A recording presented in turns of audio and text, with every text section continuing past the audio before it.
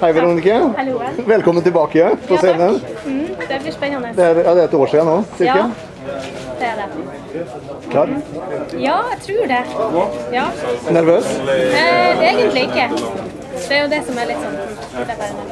Neida, det går fint. Det Ser ut til å være veldig bra form i hvert fall. So. Så det skal bli bra. Masse lykke til. Yes. Hallo!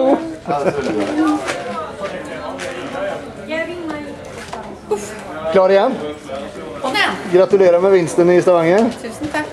Så helt fantastisk ut. Takk for det. Og formen er ikke noe dårligere nå i hvert fall. Nei, håper ikke det. Det er heller nesten enda bedre. Jeg tror kanskje litt hardere. Ser helt rått ut. Det blir spennende. Det blir veldig spennende. Og hva sier coachene? Veldig, veldig bra. Veldig fornøyd. Gjort noe annerledes nå siste uken, eller? Nei, jeg har fått litt mer karb fram mot konkurranse. Så veier hun halvkilo mindre. Så jeg håper det blir litt hardere på scenen, hvis det går an. Ja, ja, nettopp, hvis det går an. Få se noen uh, poseringer, da. Fy faen, du er i form, Kristin. Altså. Ja, jeg ser det. Det er sånn vi skal se ut, Jon. Ja, det er det.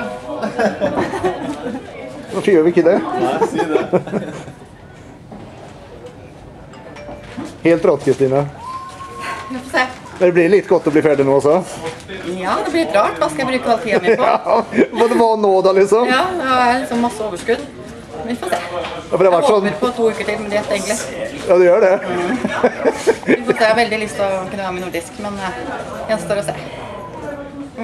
Masse lykke til. Takk.